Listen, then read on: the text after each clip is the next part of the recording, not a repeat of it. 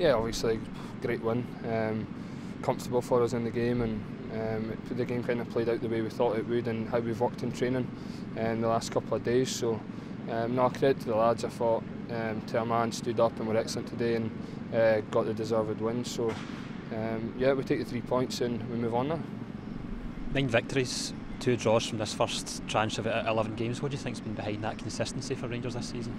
Um, I think the work we've done in pre-season. To be honest, I think um, we always strive to um, keep that consistency, and I think that'll be a big, um, a big word and um, a big factor in what we do this season is how well we can handle the consistency and um, boys coming in and out the team and boys standing up when they're called upon. So um, it's it's about getting that balance right, and so far we've done that, and hopefully it will continue. consistency in terms of performance as well. I mean, you've obviously have been disappointed not to start today, but the boys that been in there and even yourself have all had such strong starts to the season.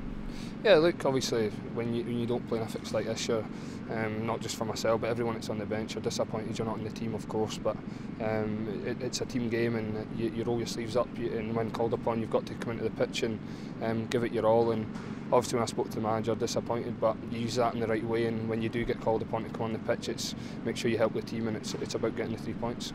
Fantastic moment, moment from for Connor grabbing the two goals. I mean, how pleased is the, the dressing room for him? Oh, delighted, honestly. Connor, um, he's a leader. He works hard every day in training, um, does everything right. He's, he's, he's probably one of the most professional players in the changing room. So to see him obviously get the rewards today for, for his efforts is great, and um, I'm sure that'll do him the world of good going forward. Until to Liège on Thursday night, and you guys embarking on yet another European journey. How much are the boys look forward to that, and hope hopefully, you know, stepping up in that competition again?